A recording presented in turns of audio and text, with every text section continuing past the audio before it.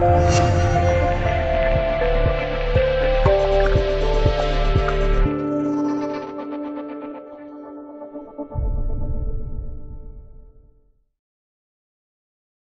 国去年的军费是中俄两国总和的近三倍。根据最新发布的一份全球各国军费排名统计，美国去年军费支出最多，高于是俄罗斯的十倍多。在欧洲国家中，英国的军费开支最高。二零一八年，美国的军费支出是俄罗斯的十倍多。根据英国国际战略研究所 （IISS） 的排行统计，华盛顿去年的军费开支最高。达到六千四百三十亿美元，和约五千七百亿欧元，远远超过沙特阿拉伯八百二十九亿美元等新兴军事大国，也远多于俄罗斯。莫斯科去年的军事开支大约为六百三十一亿美元。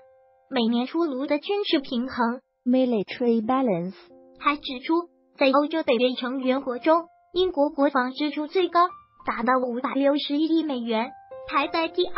第三位的分别是法国五百三十四亿美元和德国四百五十七亿美元。俄罗斯第一斯坎德尔导弹，观察家警告：不要因为俄罗斯军费开支的相对较少，而在欧洲缩减军费。英国国际战略研究所专家海斯伯格 （Frank Scheisberg） 在慕尼黑安全会议发布这份最新统计时表示，俄罗斯的投资为其增加了不少军事影响力。在欧洲情况则有所不同，欧洲远没有达到北约小目标，闯进中国南海的美国军舰。根据这份报告，北约欧洲国家的军事支出比北约长期目标低约一百亿美元。